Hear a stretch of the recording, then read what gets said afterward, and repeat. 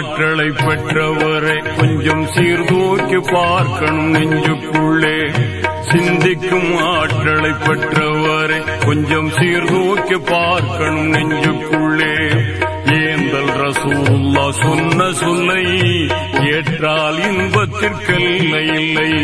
சிந்திக்கும் ஆற்றலை பெற்றவரை கொஞ்சம் சீர்தூக்கி பார்க்கணும் நெஞ்சுக்குள்ளே.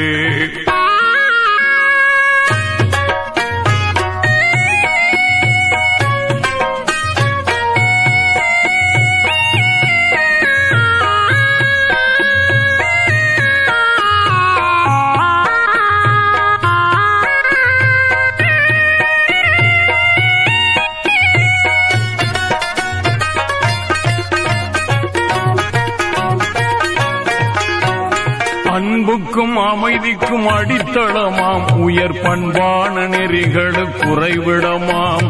அன்பிற்கும் அமைதிக்கும் அடித்தளமாம். உயர் பண்பான நெறிகளுக்கு குறைவிடமாம். தன்மான வாழ்வுக்கு இலக்கணமாம். அவர் தந்த நெறி முறை நிரந்தரமாம். பல வணங்கிடும் வணக்கத்திலும் சில நிமிடங்கள் சிந்தனை சிறந்ததென்றார்.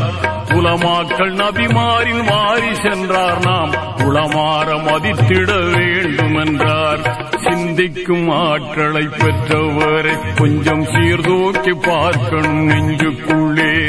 ஏந்தல் ரசூலுல்லா சொன்ன சொல்லை ஏற்றால் இன்பத்திற்கெல்லை இல்லை. சிந்திக்கும் ஆற்றலை பெற்றவரை கொஞ்சம் சீர்தூக்கி பார்க்கணும் நெஞ்சுக்குள்ளே.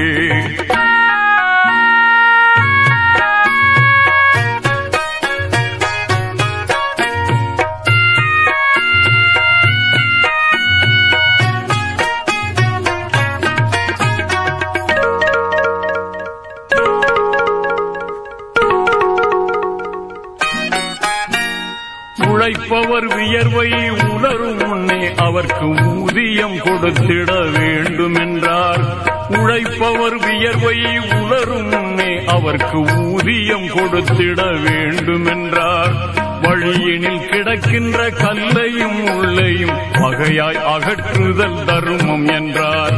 பக்கத்தில் வாழ்வோர் நலன்களுக்கு நீங்கள் அக்கறை காட்டுதல் கடமை என்றார். தக்கபடி உறவினர் உதவி செய்தால் அது திவ்ய வாழ்வினை தருதும் என்றார்.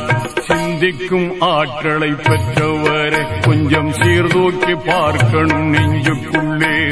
ஏந்தல் ரசூருல்லா சொன்ன சொல்லை ஏற்றால் இன்பத்திற்கில்லை இல்லை. சிந்திக்கும் ஆற்றலை பெற்றவரை கொஞ்சம் சீர்தூக்கி பார்க்கணும் நெஞ்சுக்குள்ளே.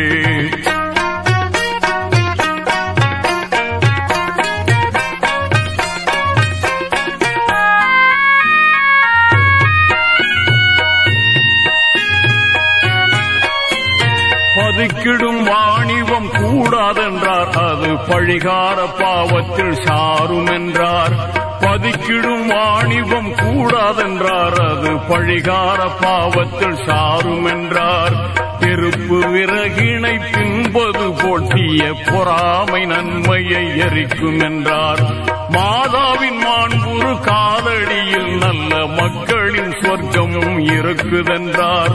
நீதமாய் தந்தையின் பொருத்தத்திலே நம் இறைவனின் பொருத்தமும் இருக்குதென்றார். சிந்திக்கும் ஆற்றலை பெற்றவரை கொஞ்சம் சீர்தூக்கி பார்க்கணும் நெஞ்சுக்குள்ளே. சிந்திக்கும் ஆற்றலை பெற்றவரை கொஞ்சம் சீர்தூக்கி பார்க்கணும் நெஞ்சுக்குள்ளே. ஏந்தல் ரசூலுல்லா சொன்ன சொல்லை ஏற்றால் இன்பத்திற்கல்ல இல்லை சிந்திக்கும் ஆற்றலை பெற்றவர் கொஞ்சம் சீர்தூக்கி பார்க்கணும் நெஞ்சுக்குள்ளே.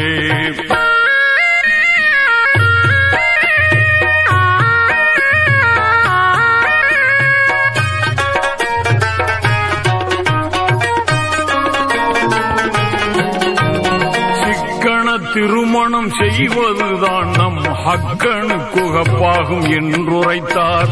சிக்கன திருமணம் செய்வதுதான் நம் ஹக்கனு குகப்பாகும் என்றுரைத்தார்.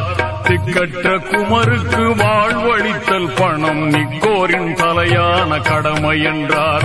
துணைவிக்கு ஆடைகள் அளிப்பதும் ஒரு தூய அறமாகும் என்றுரைத்தார்.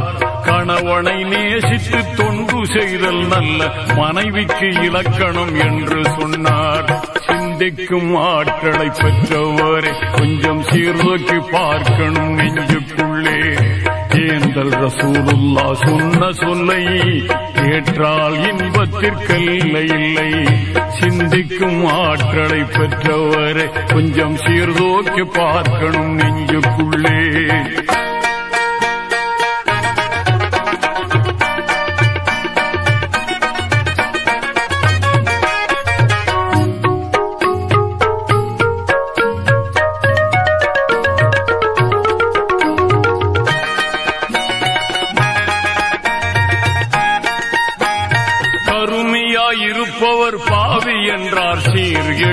எளிமையாய் வாழ்வதை சிறப்பு என்றார். கருமியாய் இருப்பவர் பாவி என்றார். சீர் எளிமையாய் வாழ்வதை சிறப்பு என்றார். சரியாக ஜக்காத்தை கொடுத்து வந்தால் அது சரியாமல் செல்வத்தை காக்கும் என்றார். மறுமையின் விளைநிலம் இம்மையாகும். அருமையாய் அமல் செய்து பெருக்கும் என்றார். குறைவில்லா சொர்க்கத்தில் நுழைவதற்கு நாம் இறைமறை வழி நின்று வாழ்வோம் என்றார். சிந்திக்கும் ஆற்றலை பெற்றவரே கொஞ்சம் சீர்தூக்கி பார்க்கணும் நெஞ்சுக்குள்ளே. சிந்திக்கும் ஆற்றலை பெற்றவரே கொஞ்சம் சீர்தூக்கி பார்க்கணும் நெஞ்சுக்குள்ளே. ஏந்தல் ரசூருல்லா சொன்ன சொல்லை ஏற்றால் இன்பத்திற்கல்ல இல்லை.